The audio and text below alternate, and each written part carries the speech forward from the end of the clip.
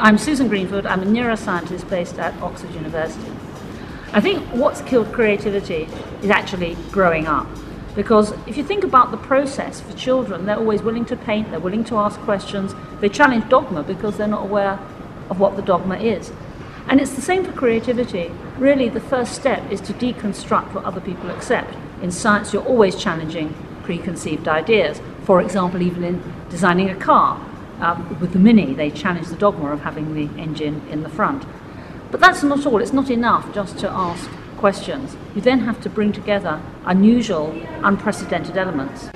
Why isn't a child's painting automatically qualified to hang in an art gallery, even though they are seemingly being creative? And I think the third stage, which is the hardest one, is that it has to mean something. It actually has to be relevant. It has to make you see the world somehow in a new way, whether it's a book, um, whether it's a painting, whether it's music, whether it's science. You suddenly say, aha, eureka, now I understand.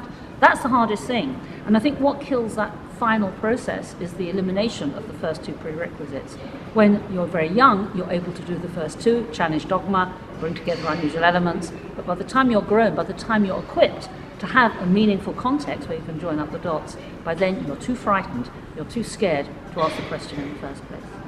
We lose the potential to be creative. It depends, of course, how you're defining creativity. If you're defining it as the ability and motivation to pick up a paintbrush and draw a picture, that's very different from actually having that picture hang in an art gallery.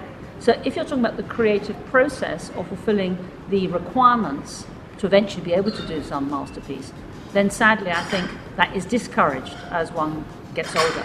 But it's not as if ab initio, uh, from the very beginning, as a small child, you're automatically gifted with great insights into the human condition.